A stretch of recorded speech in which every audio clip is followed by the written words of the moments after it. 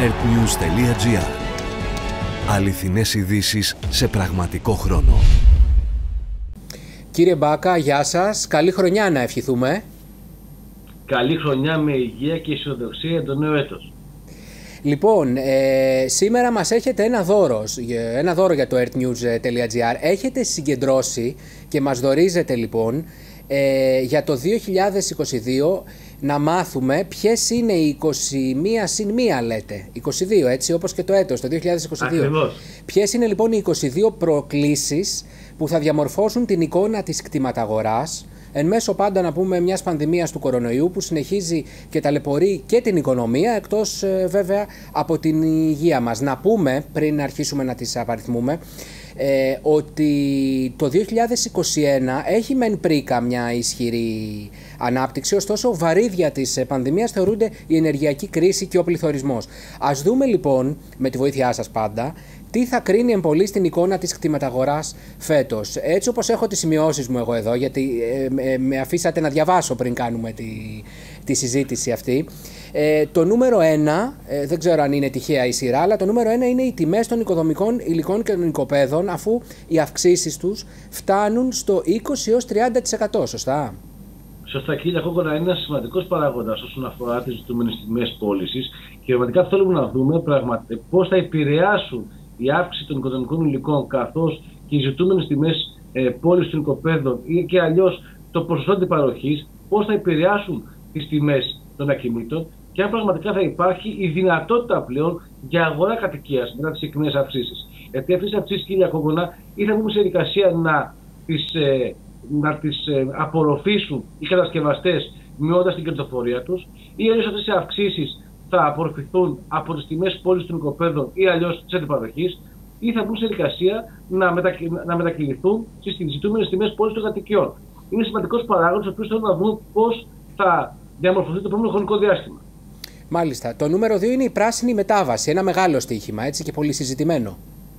Είναι πολύ μεγάλο στοίχημα, κύριε Χογόνα, γενικότερα και η αγορά. Θα σας πω ότι από τις πρόσφατες δηλώσεις του Πρωθυπουργού είδαμε ότι από το 2023 και μετά θα απαγορεύεται η κατάσταση καυστήρων πετρελαίου. Κάτι που δίνει ουσιαστικά την πρώτη εικόνα για τις αλλαγές που έρχονται. Αλλαγές που έχουν δρομολογηθεί ήδη από την Ευρωπαϊκή Ένωση με το 2030.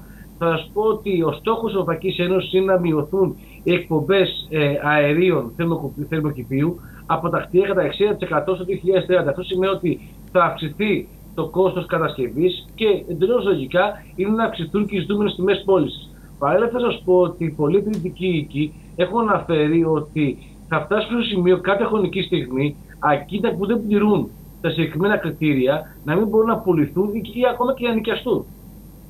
Ενώ, αν μου επιτρέπετε να σας πω, υπάρχουν και τραπεζικά ιδρύματα, το βλέπουν και στη χώρα μας σιγά σιγά, τα οποία χορηγούν μικρό, φτηνότερο επιτόκιο δανεισμού σε ακίνητα που είναι ε, καλύτερης αναλογική κλάσης, σε ακίνητα που είναι πιο ενεργοβόρα.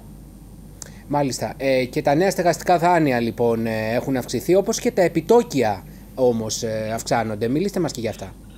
Ε, κύριε Κόκκο, όσον αφορά τώρα τα νέα στεγαστικά δάνεια, ξέρετε, η τράπεζα είναι ο βασικός ρυθμιστής. Ανάλογα ε, με το ρυθμό και τον όγκο των χρημάτων που θα, που θα δοθούν στην ελληνική χρηματαγορά το επόμενο χρονικό διάστημα, θα συντελέσουν σίγουρα σε ανάπτυξη της ελληνικής οικονομίας και ουσιαστικά της χρηματαγοράς. Να αναφέρουμε το εξής, κύριε Κοκόνα, ότι το 2021 αγγίξαν περίπου τα 900 εκατομμύρια ευρώ εκδόσει νέων σχολικών δανείων.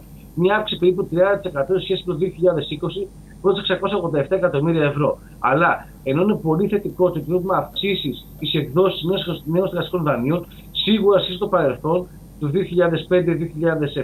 θα σας πω ότι εκεί υπολοιπόμαστε πάρα πολύ τη δεδομένη χρονική στιγμή όταν υπήρχαν εκδόσεις δανείων ύψους 15,5 δις ευρώ μέσα σε ένα έτος. Άρα, ανάλογα με τον ρυθμό και τον όγκο έκδοσης νέων σχολικών δανείων του 2022, θα αποτελέσει ένα βασικό παράγοντα για την ελληνική κλιματαγορά.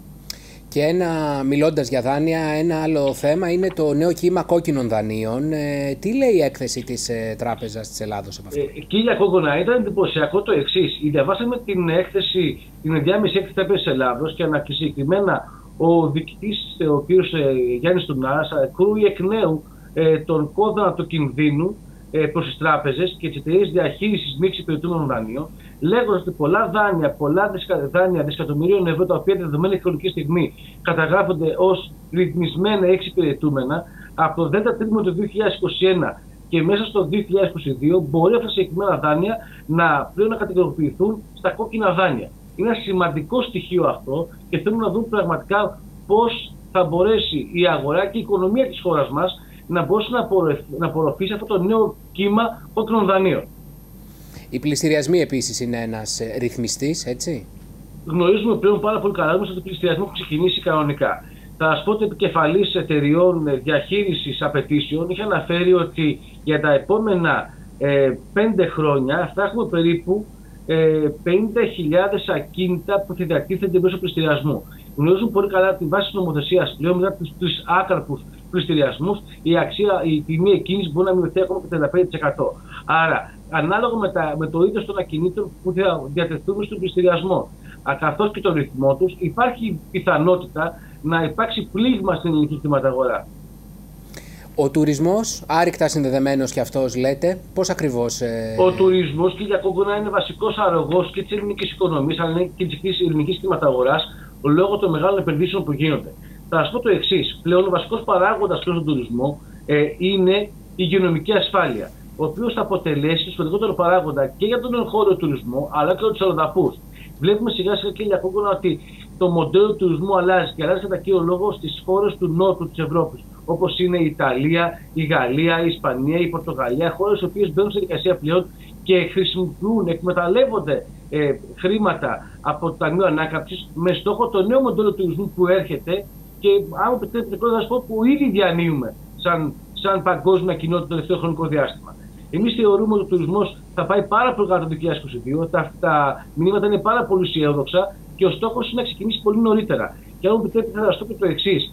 Ήδη εμείς βλέπουμε για τις ημέρες του Πάσχα, και ακόμα είναι πολύ νωρίς, αλλά αξίζει να το πούμε, βλέπουμε τις ημέρες του Πάσχα ιδιαίτερα σε πολύ ακριβές βίλες με ιδιωτική και κοινόχρηστη πισίνα. Στους δημοφιλείς προορισμούς της χώρας μας, όπως είναι η Μήκονο του Σαντορίνη, πολύ υψηλά ποσοστά προκρατήσεων από τώρα.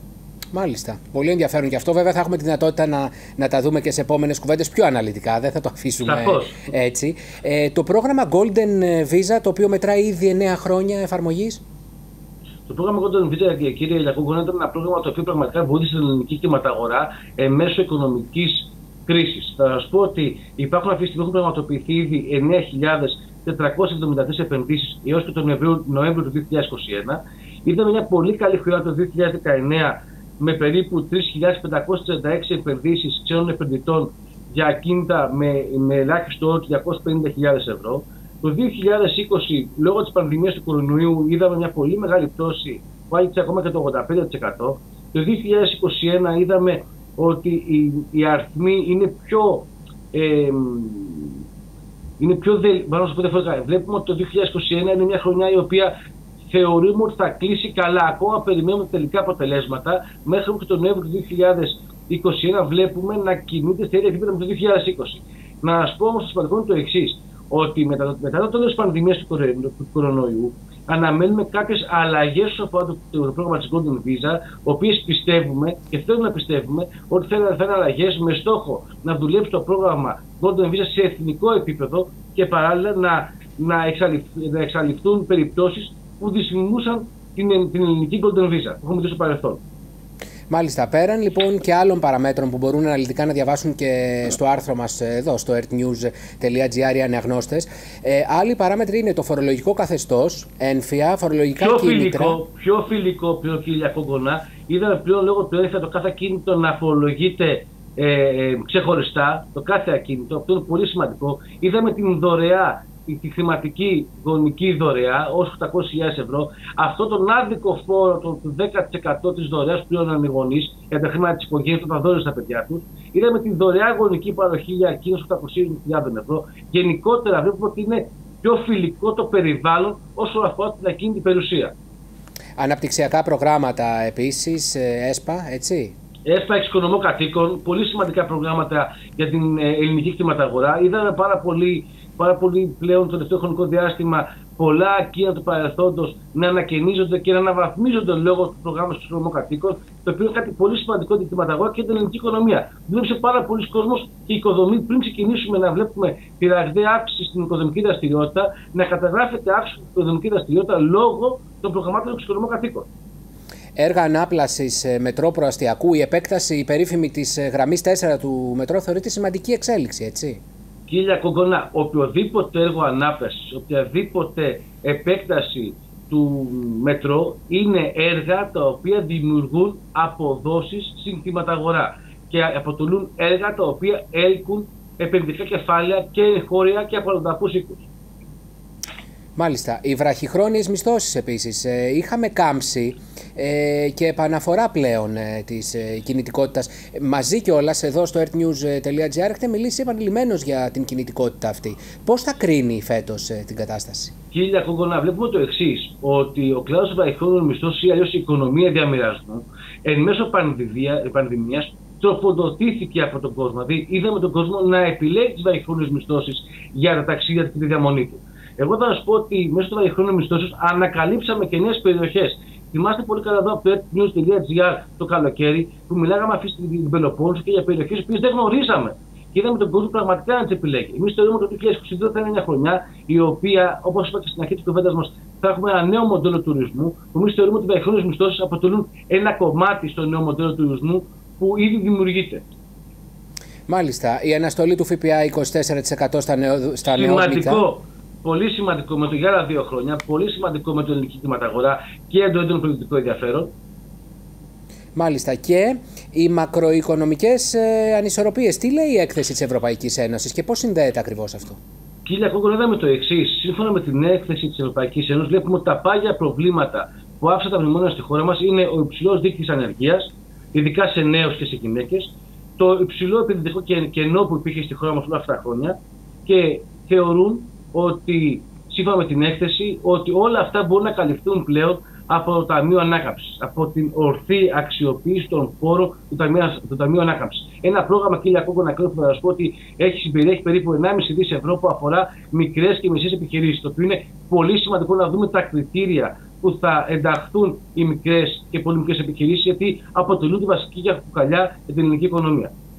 Μάλιστα. Λοιπόν, να πούμε ότι αφήσαμε μερικά από τα 22 απ' έξω για οικονομία χρόνου να, να παραδεχθούμε. Μένει να δούμε λοιπόν τι μας επιφυλάσσει το 2022. Θα είμαστε εδώ μαζί, όπως ο κόσμος, οι αναγνώστες μας πια ξέρουν, για να τα αποκωδικοποιείτε και να μας τα ε, χαρίζετε με τον τρόπο που εσείς ξέρετε και μας βοηθάει πάρα πολύ αυτό. Θέλω να σας ευχαριστήσω για, για ακόμη μια φορά που ήμασταν ε, εδώ μαζί και μας είπατε αυτά τα χρήσιμα πράγματα. Ξεκινάει η χρονιά με ελπίδα, θα πω εγώ. Κύριε Χόγκολα, η χρονιά ξεκινάει με ελπίδα, με μια πρίκα σημαντική από το 2021 σε σχέση με το 2020. Εμείς θεωρούμε ότι η εγχώρια οικονομία και η δυναμική θα είναι πολύ καλύτερη σε με το 2021, το 2022 και γενικότερα η ελληνική κλιματαγορά και η να κρίνω να σας πω ότι αποδεικνύει στην πράξη ότι αποτελεί βασικό πυλώνα της ελληνικής οικονομίας.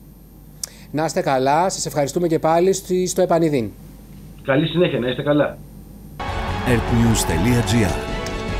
Alηθινές ειδήσεις σε πραγματικό χρόνο.